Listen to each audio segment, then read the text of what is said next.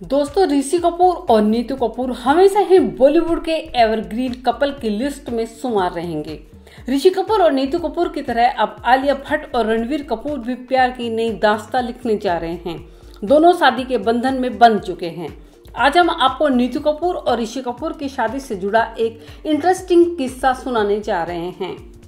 रणबीर कपूर के पापा ऋषि कपूर ने फ़िल्म बॉबी से बॉलीवुड डेब्यू किया था। इस फ़िल्म के बाद एक्टर रातों रात स्टार बन गए थे। ऋषि कपूर की चार्मिंग पर्सनैलिटी से कई लड़कियों के दिलों को जीत लिया था। लेकिन ऋषि कपूर तो गोर्जियस नीतू कपूर पर अपना दिल हार गए थे। ऋषि कपूर ने जब नीतू को डेट करना शुरू किया, तब वो एक सक्सेसफुल एक्टर थे। दोनों एक दूसरे के साथ खास बॉन्डिंग शेयर करते थे। ऋषि कपूर और नीतू कपूर ने 22 जनवरी 1980 में एक दूसरे संग सात फेरे लिए थे। कपूर खानदान की इस शादी में देश के साथ साथ दुनिया की भी नामचीन हस्तियाँ शामिल हुई थी। लेकिन इस बीच कुछ ऐसा हुआ था कि सब घबरा गए थे। एक इंटरव्यू के दौरान नीतू कपूर ने बताया था कि शादी के दौरान ऋषि और वे बेहोश हो गए थे। हालाँकि दोनों के बेहोश होने के कारण अलग अलग थे।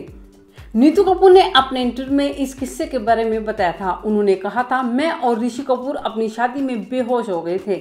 मेरा लहंगा बहुत हैवी था और शादी में बहुत ज़्यादा लोग भी थे। मेरे लिए ये सब हैंडल कर पाना बहुत मुश्किल हो गया था। मेरे पति ऋषि कपूर लोगों की भीड़ देखकर बेहोश हो गए थे। ऋषि कपूर घोड़ी चढ़ने से पहले ही बेहोश हुए थे। बाद में जब हम दोनों ठीक हुए, तभी हमारी शादी पूरी हुई।